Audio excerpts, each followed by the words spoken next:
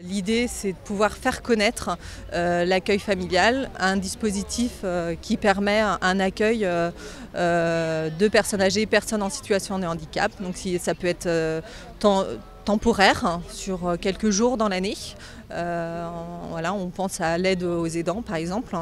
et ça peut être aussi 24 heures sur 24 sur toute l'année, 365 jours sur 365 jours.